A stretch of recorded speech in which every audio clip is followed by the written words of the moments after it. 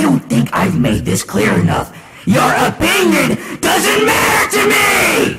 Put your name on the contract or I'll make your dead hollow body stop.